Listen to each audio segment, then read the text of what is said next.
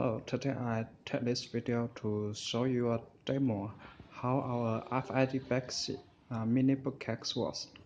This bookcase is Android system Bexy. It supports face recognition, library card, and QR code.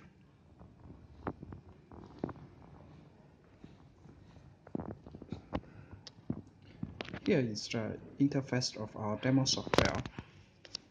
We could click here to open case 1, case 2, case 3, case 4, and inventor the case 1, case 2, case 3, and case 4. Here is open all the door. Here's to inventor all uh, the whole bookcase. We could start to inventory now.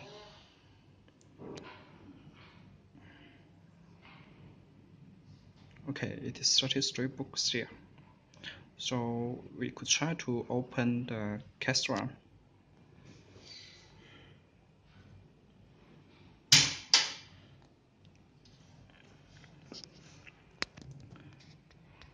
We try to take two books out and close it. Then we do inventory again.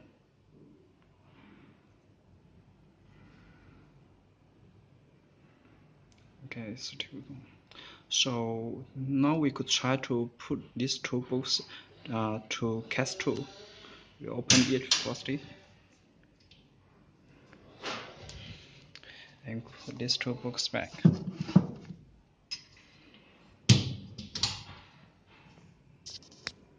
We do inventory again.